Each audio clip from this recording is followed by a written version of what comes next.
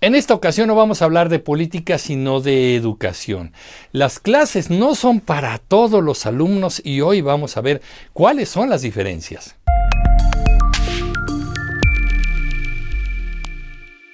Y desde este momento les digo que no estoy hablando de que dejemos las clases o las abandonemos o abandonemos la escuela. No, es que realmente la forma en la que aprendemos los seres humanos tiene que ver también con la forma en la que vamos a enseñar. Aquellos que tenemos la oportunidad de dar una clase, de estar en un aula, estar frente a alumnos, tenemos que comprender que la diversidad de los seres humanos es tan grande que todos aprendemos de una manera diferente y tratar de estandarizar todo en esquema muy cuadrado, lo único que va a hacer es que muchas personas pierdan la motivación por aprender, pierdan la motivación por la información y ya no quieran poner atención al aprendizaje. Así que hoy quiero platicarles de una teoría que algunos dirán que es interesante, es válida, otros dirán que a lo mejor está superada o le falta fundamento, pero que tiene que ver con esta manera en la que nosotros percibimos el mundo a través de tres canales. Estos tres canales son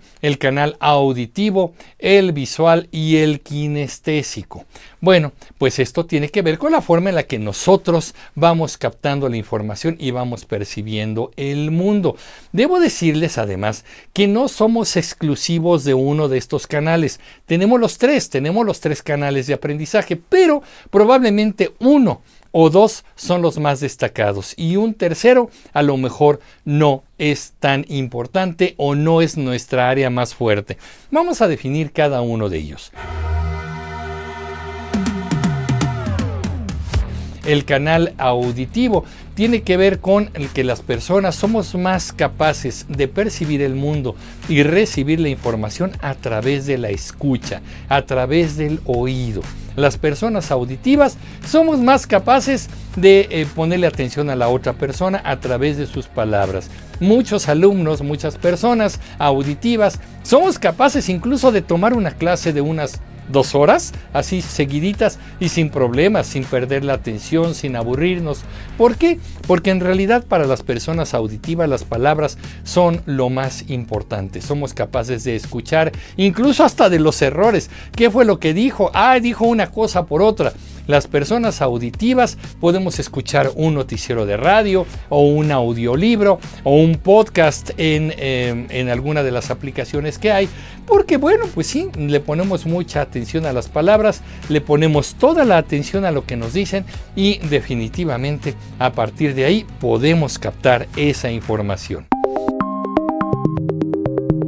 Las personas visuales son personas que tienen mucho más que ver con la vista y entonces, bueno, son personas que tienen su información, la van acumulando y la van percibiendo a través de la vista, del mundo que les rodea, cómo se ve, qué aspecto tiene, qué mensaje manda visualmente. Y esto es muy interesante. Una persona visual tiene, tiende más a entender gráficas, esquemas, organigramas, eh, algoritmos, incluso todo lo que tenga una representación gráfica, por ejemplo, los mapas mentales. Las personas visuales tienen una mejor comprensión a través de la vista. Son personas que le van a poner incluso atención al atuendo del maestro, de la persona que está exponiendo tal o cual información, cómo se ve, cuál es el aspecto, cuál es su lenguaje eh, no verbal, su lenguaje corporal. Todo esto es parte de lo que la persona visual eh, va captando y a través de la vista es como acumula más la información.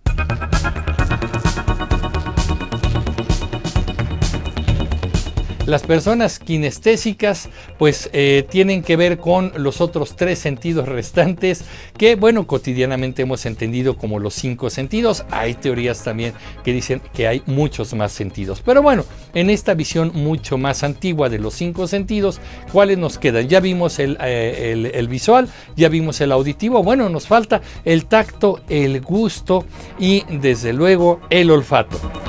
Entonces, a través de ello, las personas kinestésicas entienden el mundo, lo captan e interactúan con él. Una persona kinestésica tal vez no nos va a poner tanto atención en lo que estamos diciendo.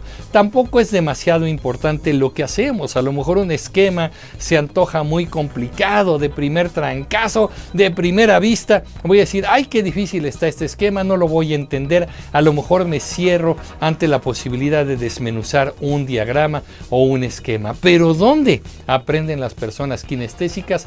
A través de hacer las cosas. Las personas kinestésicas son excelentes en las prácticas, en las dinámicas. Cuando en una escuela a los niños, a los jóvenes, los ponen a hacer cosas, a hacer una práctica, a interactuar con otros, a salir y percibir el mundo, Ahí las personas kinestésicas ponen toda su atención, toda su pasión y todo su aprendizaje.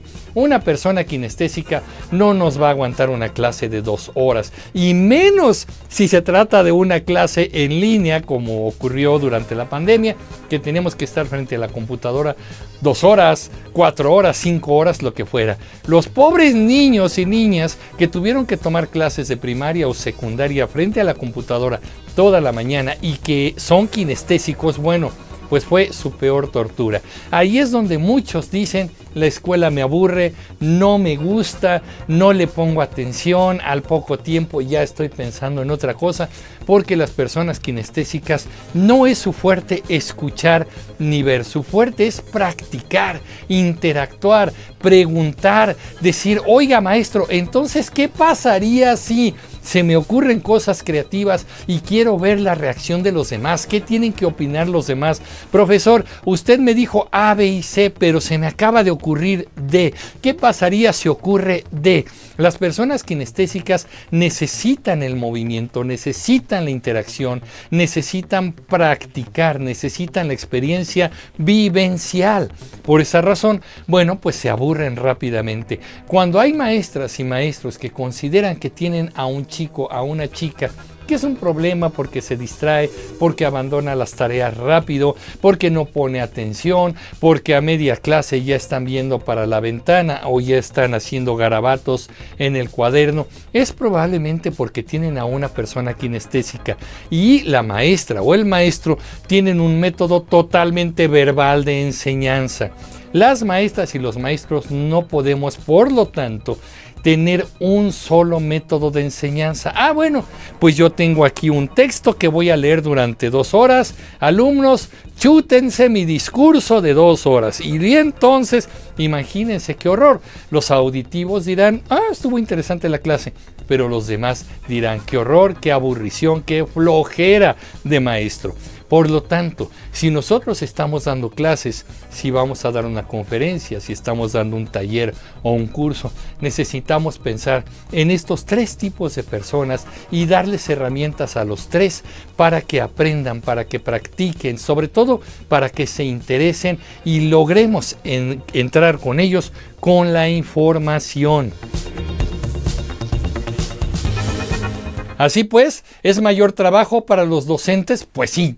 ¿Es mayor trabajo para los conferencistas? Pues sí, porque entonces tenemos que hacer eh, un buen rollo para los auditivos, una buena definición, una buena verbalización de conceptos, pero también a lo mejor tenemos que diseñar buenas gráficas, buenos esquemas, buenos diagramas, a lo mejor pasamos una foto, un video, material visual y desde luego prácticas y dinámicas, promover la participación para que los kinestésicos también se interesen, participen y tengan aprendizaje. Así que bueno, bajo esta idea, yo les dejo esta rápida reflexión y decir, si nosotros queremos enseñar algo en las aulas, tenemos que pensar en estos tres tipos de personas. Y si somos madres, padres de familia, jefes de un área de trabajo, también pensar que nuestro personal o nuestros hijos pueden tener esta diversidad en la forma en la que aprenden, la forma en la que reciben la información y nosotros tenemos que ser